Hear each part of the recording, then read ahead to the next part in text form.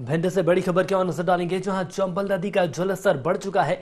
आपको बता दें कि 12 घंटे में करीब 35 फीट बढ़ा है पानी। लगातार बढ़ते पानी से अटेर क्षेत्र के एक दर्जन गाँव में पानी भरने का खतरा बना हुआ है।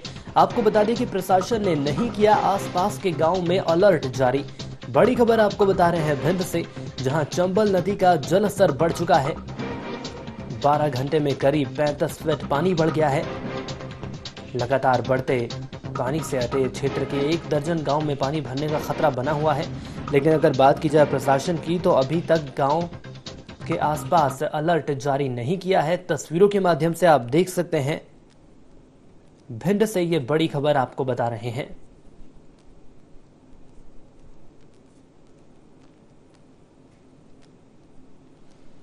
चंबल नदी का जलस्तर लगातार बढ़ता ही जा रहा है और तकरीबन 12 घंटे में 35 फीट पानी बढ़ चुका है।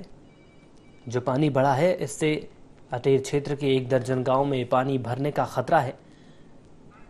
लेकिन प्रशासन ने इस दौरान कोई अलर्ट जारी नहीं किया है। अधिक जानकारी के लिए संवाददाता जुड़ चुके हैं विकास। विकास, जानना चाहेंगे भिंड में चंबल नदी का जलस्तर बढ़ चुका है, जिससे कि अटेर क्षेत्र के एक दर्जन गाँव में पानी बढ़ने का खतरा है। क्या कुछ है ताज़ा जानकारी? आपको बता दें जिस तरीके से दो दिन के अंदर में जो चंबल नदी का है जल स्तर पैंतीस फुट बड़ा है, उसको लेकर वहाँ पे कारी जो ग्रामीण है, उनमें काफ़ी उनके साथ में भय उत्पन्न हुआ है कि जिस तरीके हर साल यहाँ पे हाई अलर्ट किया जाता है तो सुरक्षा की व्यवस्था पुख्ता इंतज़ाम किए जाते प्रशासन की तरफ़ से, लेकिन अब की बार कोई भी प्रशासन की तरफ़ से हाई अलर्ट और न सूचना दी गई है, क्योंकि उनको ये अभी तक पैंतीस फुट जल स्तर बढ़ना काफ़ी माने रखता है, क्योंकि क्षेत्र है, पूरे डूब प्रभावित में आता है, और वहाँ पे एक ग्रामीण है, उनका मानना है कि जिस तरीके से प्रशासन की तरफ़ से कोई पहल की नहीं जा रही है तो उनकी समझ में नहीं आ रहा है कि उनकी समझ से परे है जी। लेकिन विकास अगर बात की जाए प्रशासन की तो अभी तक आँखें मुद्दे प्रशासन क्यों बैठा हुआ है? पैंतीस फीट पानी बढ़ गया है, और अगर ये पानी और बढ़ता है तो एक दर्जन गाँव में पानी भर सकता है।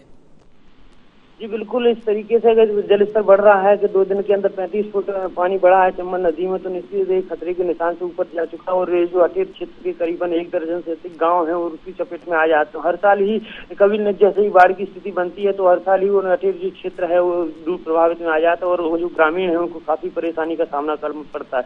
लेकिन अभी तक प्रशासन की तरफ़ से कोई पहल नहीं की गई है तो ये निश्चित प्रशासन से ही बात की कोशिश की लेकिन उनकी तरफ़ से कोई अभी इंतज़ाम की, वादे की बात की नहीं की गई। चलिए निश्चित तौर पर चौंकाने वाला विषय है कि प्रशासन ने अभी तक आसपास के गाँव में अलर्ट जारी नहीं किया है। विकास जानकारी देने के लिए आपका धन्यवाद।